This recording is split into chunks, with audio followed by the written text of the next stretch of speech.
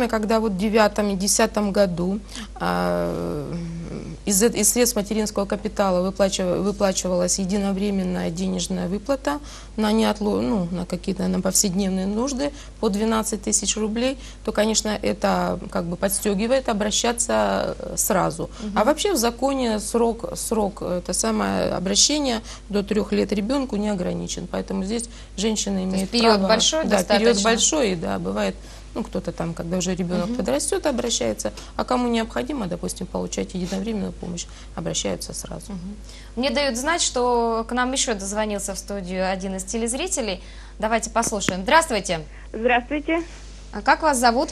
А, Иванова Тамара Степановна, это моя приятельница. Она попросила вот уточнить такой вопрос. Да-да-да, Я звоню слушаем по, вас. по ее поручению. Значит, ей 56 лет, она собирается поехать в станицу Петровскую к своим родственникам. Вот спрашивает, положены ли ей льготы по проезду? Мгм.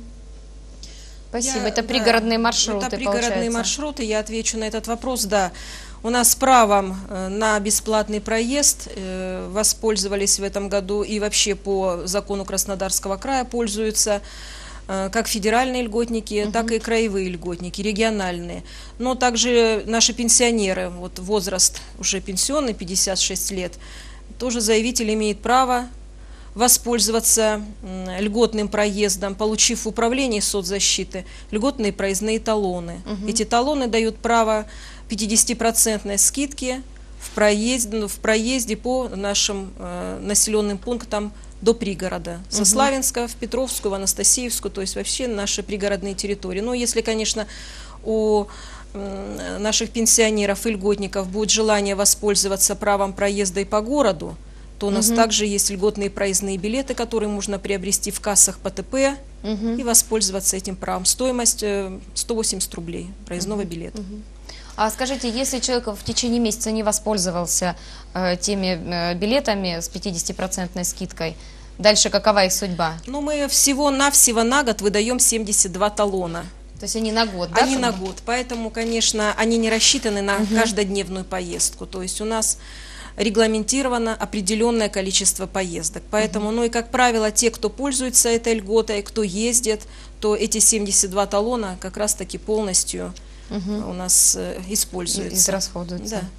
Валентина Григорьевна, следующий вопрос у меня будет к вам. Еще один сертификат, который положен каждой мамочке, это родовой сертификат.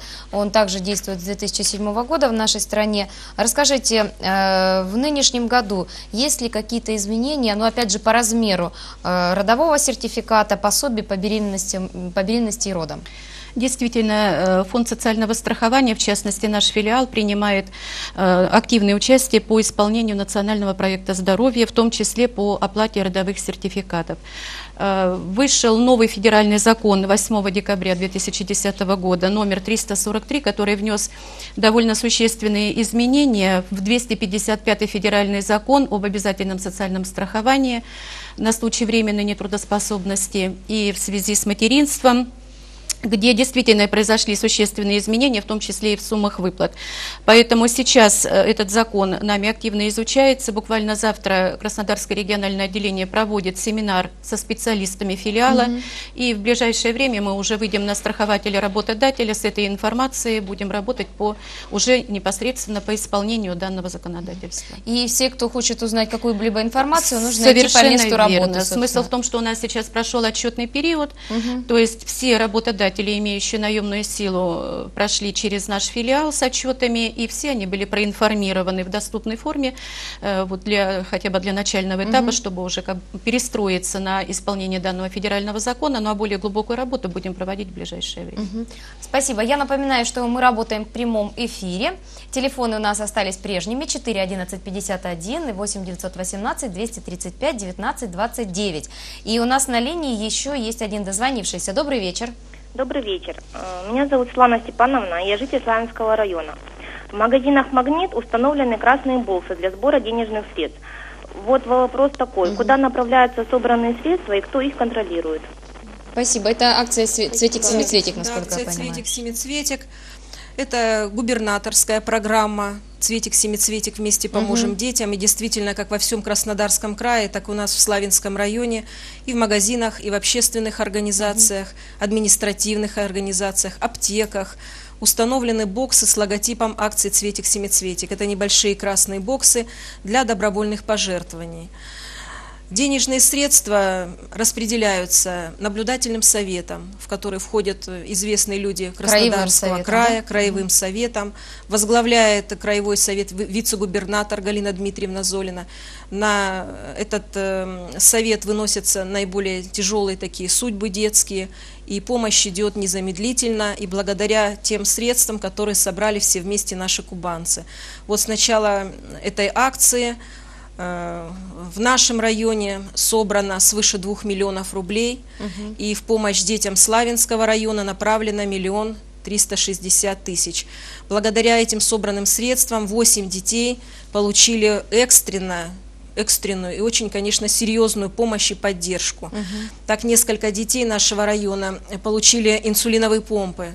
Это дет- де- детки больные сахарным диабетом. Стоимость одной такой помпы или этого аппарата для измерения сахара 75 тысяч рублей. То Да, есть не, не каждая, каждая мама семья может потянет, это да. купить, а вот благодаря поддержке славянцев дети получили. Ребенок получил э, слух, приобрел слух, ребенок стал слышать маму. Э, 760 тысяч обошлась операция, и этот ребенок опять-таки услышал маму. Двое наших малышей после страшных ожогов получили поддержку в санаториях путевки матери и ребенка. То есть э, это губернаторская программа. Я думаю, что все наши жители Славянского района помогут и продолжат опускать свои небольшие сбережения Да, в эти красные бы, там боксы. лежат Казалось бы, не- 10-рублевые в основном 10-рублевые купюры, но эти деньги, как маленький ручеек, втека- стекается в большую реку помощи, помощи нашим обездоленным детям. Спасибо. Пока Марина Ивановна отвечала на вопрос нашей телезрительницы, еще один звонок появился у нас на линии. Здравствуйте. Здравствуйте. Это... Слушаем вас. Алло, Алло, алло, слушаем вас. Галина Николаевна, у меня вопрос такой. Это вопрос э, управления соцзащиты, наверное. А, сумма, значит, вот ребенок до года, да, выделяет там деньги на питание. Она действительно равна 150 рублей, да, и как бы вот 150 рублей, ну, в сущности, это, э, ну, одна коробочка питания, да и то, как бы не самого лучшего качества. Вот действительно ли такая маленькая сумма выделяется на питание маленьким детям? не получающим грудное молоко, как бы. Ну или там по-другому как-то. Мгм. Да, действительно, с этого года вступил в силу закон Краснодарского края о выплате денежных средств взамен детского питания. Мы знаем, если раньше родители получали детское питание на молочной кухне от детской поликлиники, то в настоящее время, конечно, хотя эта сумма не возмещает всех расходов, но на сегодня это так. Сумма Всего- всего 150, 150 всего рублей в 150 месяц. рублей в месяц. Да. Ну, к, к сожалению, не, не все так хорошо, как хотелось бы. Елена Евгеньевна, хочу задать вам вопрос, который, на ответ на который, наверное, очень важен для работающей части наших граждан. С этого года значительно увеличивается размер страховой и накопительной части трудовой пенсии. Э, Насколько, насколько что это даст страхователям в итоге? Те, которые сейчас работают пока. Размер страховых взносов увеличивается. Э, Да, это действительно так по законодательству, но там э, приняты определенные, есть еще законы, которые ну, льготные тарифы устанавливают. Мы об этом в ближайшее время в средствах, э, массовых средствах информации дадим, э, дадим такую информацию. Ну, э, от, поскольку с 1 января 2002 года пенсионная система вся переведена на страховые принципы, то есть вот от э, той су- и каждый, каждое работающее лицо на протяжении всей твоей своей трудовой деятельности за счет этих страховых взносов, которые уплачивает работодатель, как бы формирует свой пенсионный капитал. Что это такое? Это та о размере взносов каждый год нам приносят так называемые работающему населению, так называемые письма счастья пенсионного фонда, ну так их прозвали, да. И вот там, конечно, нужно, нужно интересоваться и смотреть. Вот чем больше там сумма, которая, которая уплачена работодателем, тем Вот это и есть частичка за каждый год этого капитала. И к пенсии она суммируется за все годы, и потом равными как бы долями, и она еще индексируется, и потом равными долями э, включается в состав, в состав пенсии. То есть чем больше эта сумма, тем больше в будущем у пенсионера пенсии. И поэтому вот очень важно сказать, что сейчас нужно на пенсию пенсию зарабатывать в течение всей трудовой деятельности, потому что вот эти страховые принципы, они, они на это и рассчитаны. Поэтому, и чтобы увеличить э, размер пенсии, потому что средний все-таки размер пенсии сейчас в настоящее время ну, недостаточно покрывает тот утраченный заработок э, работникам, который ушел на пенсию. И при повышении, это, как говорится, э, размер возмещения будет выше. Ну, нынешние пенсионеры, они еще накопительную часть, они не уплачивали. Нет, накопи- С какого э, года? Значит, накопительная часть уплачивается с заработка э, лиц э, 67 года и моложе. С шести- с 67 67 года. У нас есть еще один звонок, очень хотелось бы вывести его в, э, эфир. Здравствуйте. Здравствуйте, Как вас зовут? Светлана Викторовна. Слушаем вас. Скажите, пожалуйста, вот э, предпринимателю почему детские не платят по рождению ребенка? Именно предпринимателю. Предпринимателям не выплачивают Мгм. детские. Какие могут быть причины? Ну, причин тут не может быть никаких, потому что пособие на рождение ребенка должно выплачиваться абсолютно всем женщинам, родившим ребенка. В зависимости от того, конечно, э, если женщина работала или муж ее работал, то пособие на рождение выплачивается по месту работы. Если если оба не родителя работал? не работали, то по месту э, это в, в социальной защите. А если предприниматель не выплачивает это пособие по какой-либо причине, то я думаю, что необходимо обратиться в Государственную инспекцию труда с заявлением, с заявлением в прокуратуру, и эта ситуация будет поправлена. Э, Это деньги Фонда социального страхования. Это, Поэтому- это не Верно, личные да, деньги это не работодателя. лично деньги работодателя, это деньги Фонда социального страхования, поэтому нужно э, работодателю обратиться в фонд, узнать, как это все выплачивается и делается. Но э, молодые матери, вообще матери ни в коем мере страдать не должны из-за незнания законов. Ну вот этой маме, которая к нам обратилась, кому лучше Здесь подойти? нужно индивидуально да, поработать с, с данным заявителем и воспользоваться телефонами э, Фонда социального страхования, либо прийти к нам на Пионерскую 28 между школьной и Гриня и конкретно уже более глубоко проанализировать ситуацию. подскажете потому что, конечно, дальше, что делать верно, нужно? потому что ситуации бывают разные, здесь нужно разбираться непосредственно по факту уже. Скажите, пожалуйста, такой вопрос тоже общий для всех о межведомственном взаимодействии. Если человек, не совсем понимая, вот есть проблема, а, пришел, к примеру, к вам, да, или к вам, в вашу структуру, а вопрос не ваш. То есть каким образом вы взаимодействуете и как бы э, ваши сотрудники понимают, э, чем занимаются в параллельных, так скажем, структурах?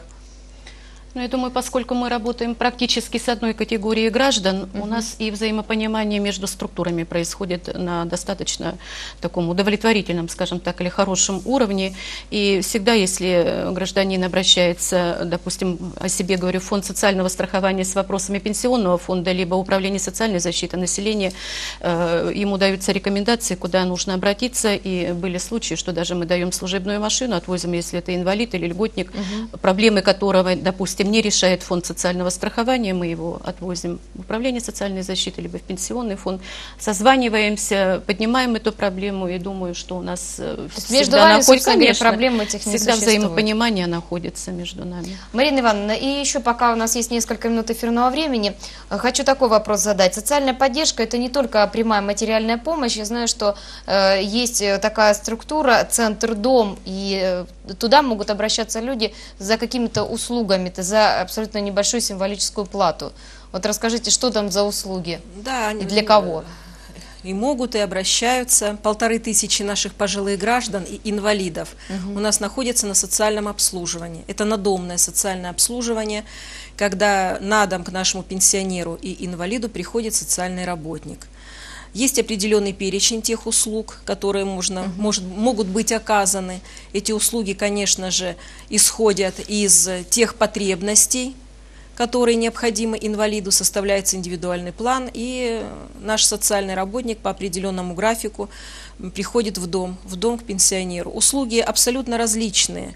Это и доставка продуктов питания, это уборка, уборка квартиры, покупка медикаментов. э, Ну, сейчас спектр очень расширился. Кроме услуг, таких, которые входят в обязательный наш перечень, у нас есть и определенный перечень платных услуг по минимальным социальным расценкам. Это и парикмахерские услуги оказываем. Оказываем услуги по вспашке огородов, распиловке и колке дров.